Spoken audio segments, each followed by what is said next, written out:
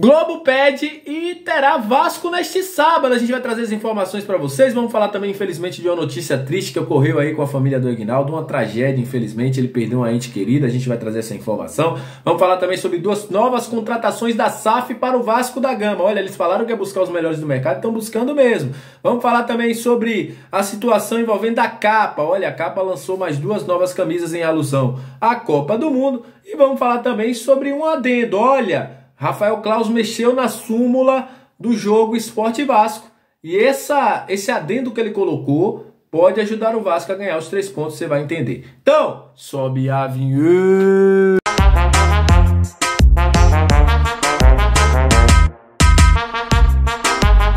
Salve, torcedor vascaíno, salve minha galera do Comentalão, aquele abraço para você que tá sempre junto com a gente, que curte, compartilha, que se inscreve no nosso canal, que tá todo dia aqui deixando aquela moral pra gente, muito obrigado. Vocês são o principal combustível para que este canal esteja no ar. E para você que tá chegando pela primeira vez, seja muito bem-vindo ao nosso Comentalão Vascaíno, aquele lugar de análise, informação, opinião, tudo que envolve o Vasco está aqui, eu sou o Comentaléu e estou todos os dias aqui trazendo informação para vocês. Olha, antes de trazer os principais assuntos do Vasco, vamos aquele quadro de curtinhas, né? As notícias curtinhas para vocês. Vasco teve três jogadores eh, convocados para sub-17 aí, Rayan, Matheus Ferreira e o goleiro Felipe Gabriel foram, foram convocados aí para a seleção brasileira da categoria sub-17. Outra informação bem curiosa é que o goleiro Sidão ganhou aí um processo da Globo, ganhará 30 mil reais por causa daquele fatídico episódio, né, que no jogo contra o Santos, que ele falhou e recebeu o troféu aí de melhor do jogo, né? O Sidão aí colocou a Globo na justiça e acabou ganhando aí é, a causa, terá que a Globo pagar aí esse valor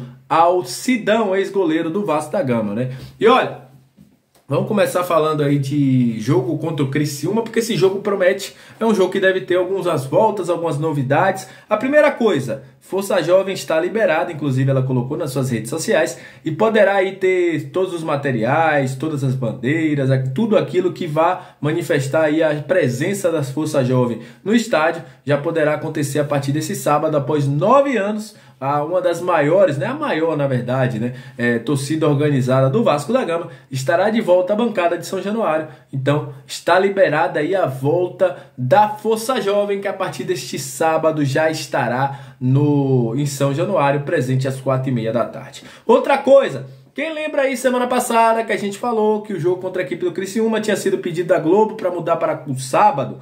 Pois é, hoje a Globo confirmou que esse jogo terá transmissão ao vivo da Globo. Só que ainda está uma dúvida. A Globo vai transmitir esse jogo para todas as redes ou vai dividir rede? Tem gente, por exemplo, eu estou na Bahia, o Bahia vai jogar também. Será que eles vão botar o Bahia para a Bahia? Será que esse jogo será somente para o Rio e para Criciúma? Ainda não tem essa informação. Até sexta-feira a Globo deve confirmar quais são as praças que vão receber esse jogo. Mas sim, a Globo transmitirá o jogo Vasco e Criciúma. Também terá transmissão da é, do Premier FC que deve ser contemplado aí com esse jogo. Lembrando que no domingo a Globo também vai mostrar para o Rio Grande do Sul e para Pernambuco o jogo Náutico e Grêmio. É, são jogos importantes e que podem decretar um acesso das três equipes e com isso a Globo aí fazendo a boa. O Vasco sempre traz muita audiência. O, a audiência do jogo do, contra a equipe do esporte foi muito boa, né? Esperava ser até uma audiência, uma audiência baixa, ficou aí pau a pau com a audiência de São Paulo do jogo é, do Derby Paulista de Palmeiras e São Paulo. Então o, a Globo aí volta a investir no Vasco e deve ter pela segunda vez seguida aí o Vasco em TV aberta. Só esperar um pouquinho para ver quais são aí as praças que receberão este jogo, as regiões, e até sexta-feira a gente vai trazer essa informação para vocês. Olha, é, notícia um pouco triste que agora há pouco a gente recebeu essa informação pela tarde.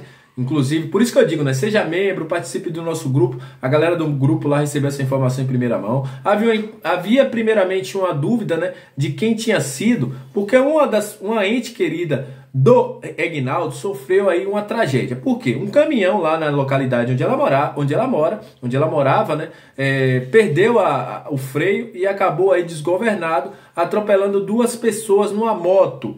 E uma dessas pessoas era a madrasta, que é mãe da irmã do Egnaldo, que acabou aí sendo atropelada, não resistiu aos ferimentos e acabou falecendo. O Vasco, inclusive, colocou nas suas redes sociais aí, como você está vendo passar na sua tela, uma, uma nota de pesar. E a gente deixa aqui, deseja tudo, tudo de bom, né? Que Deus abençoe, Deus conforte o coração da família do Aguinaldo e do próprio Aguinaldo, que acabou não participando do treino dessa terça-feira por causa deste ocorrido. Então, Aguinaldo aí, infelizmente, teve essa perda aí na sua família. É, grave, né? Tragédia, né, cara? O caminhão faltar um freio e a pessoa vir de uma moto e acabar recebendo aí é, ter nem pra quê, né? Infelizmente, mas a gente sabe que a vida, infelizmente, tem dessas coisas. Mas Deus conforte o coração do Aguinaldo aí. E a gente aqui do Comenta Léo deixa toda a sua solidariedade à família e também ao, Ed, ao Aguinaldo. Que Deus esteja com eles e que agora o que menos importa é o futebol, né? O que menos importa é o futebol e que quando ele estiver bem, ele possa voltar a praticar aquilo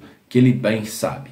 Olha, Vasco anunciou hoje a contratação de dois profissionais para a SAF, né? A SAF falou que ia buscar os melhores no mercado e está buscando mesmo. Primeiro tirou um cara que é o cara que vinha fazendo um grande trabalho no rival. Para quem não sabe, muita gente vai dizer: "Ah, tirou o cara do Flamengo e não sei o que, não sei o que, não sei o que, não sei o que" é um dos melhores do mercado. É um cara que estava fazendo a internacionalização da marca do Flamengo. Fechou é, bons contratos com Dazon, fechou contratos aí com o Globoplay, fechou com belos contratos aí de publicidade, dessas questões comerciais, que é o Caetano é, é Marcelino, que foi contratado para o Vasco aí, trabalhava no Flamengo, agora trabalhará no Vasco e tem aí muita expertise no mercado, muito respeitado. É um cara que vai assumir ali praticamente a questão do marketing, a área comercial, né? Ele será o gerente comercial do Vasco da Gama, então foi contratado pela Vasco SAF. Outro profissional que foi contratado pela Vasco SAF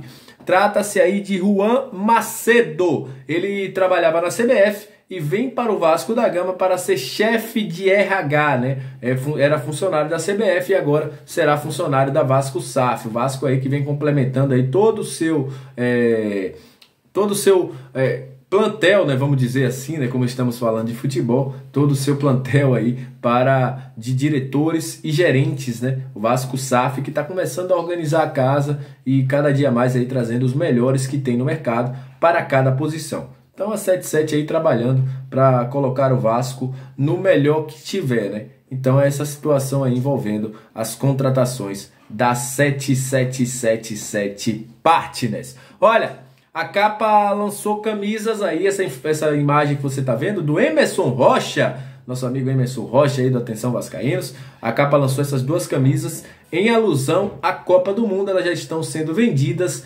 na gigantes, né? Na, nas casas né, do Vasco aí, onde você pode achar. Então, na lojas do gigante, vamos dizer assim, e você pode aí comprar essas camisas que estão aí a preço de R$ 99,90 por aí. Então, você que quiser comprar essas camisas, você pode comprar. Só para terminar o vídeo, trazendo a informação importante.